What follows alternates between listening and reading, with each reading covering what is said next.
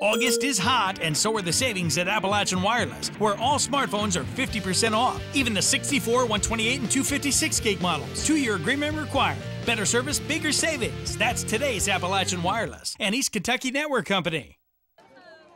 Millions were looking to the sky today in anticipation of the most talked about event of the year, the 2017 solar eclipse. A few thousand of those spectators descended upon the East Kentucky Science Center and Planetarium in Prestonsburg as the center gave out thousands of free solar eclipse glasses. Officials with the center say the turnout is an example of the growing interest in astrology. And we're not even looking at this from a scientific standpoint. This is just having people come out, enjoy the science center, enjoy the eclipse. So people are interested in this stuff. So this is this is a great crowd. Uh, you know, it shows they su they support what we're doing here.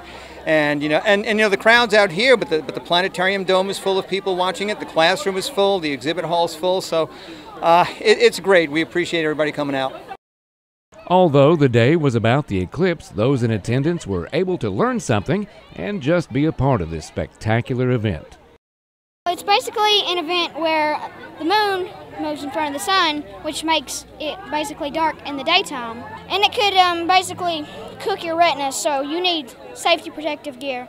So that way you won't go blind because it's very, very strong.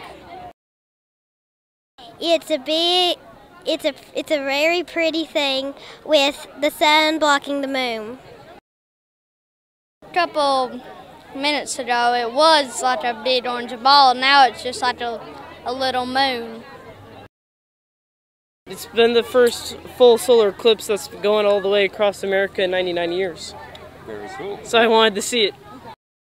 For more information on the East Kentucky Science Center and Planetarium, visit the web address listed on your screen.